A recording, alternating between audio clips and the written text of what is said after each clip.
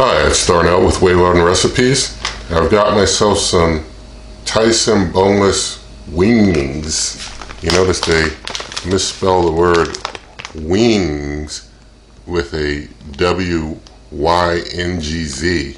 That's because it's not really wing meat at all. It's really just, uh, as I mentioned, breaded chicken breast chunks with rib meat coated in buffalo style sauce. So these are really, if they wanted to say it correctly, chicken breast chunks with rib meat, rib meat, but I guess that wouldn't sell well, so they call them wings misspelled. So anyway, gonna make these in the NuWave oven, and so let's get started.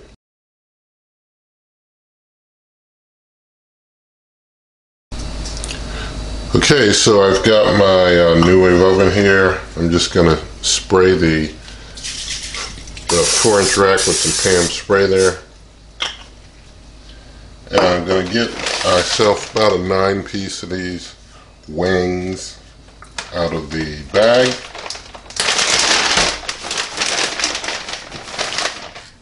They're kind of big, which is, which is good. I always hate to go to those uh, places that sell these wings, boneless wings, and they're like all tiny, and you feel like you got ripped off because you paid a ton of money. You know, you can get a ton more from uh, like Sam's Club, and you can just uh, do them yourself on a NuWave pretty quick. So. Uh, Gotta get this glove off and this other glove off.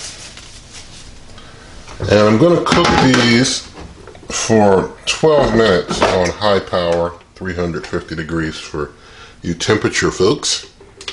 So go cook time 12, start, bring you back in 12 minutes.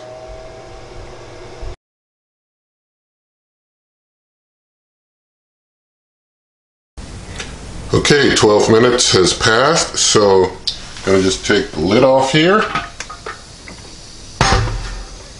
See, they're very well cooked.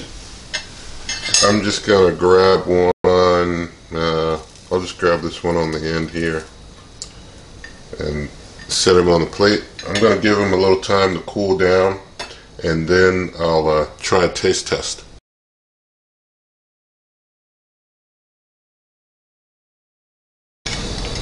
All right, so it's taste testing time.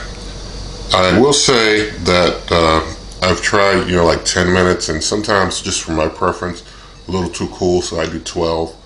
But if you want to try 10 and you like them at 10, that's up to you.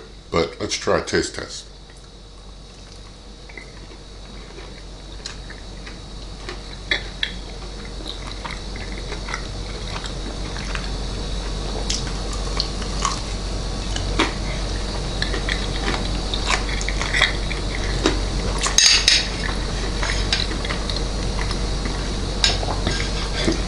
So, good as usual.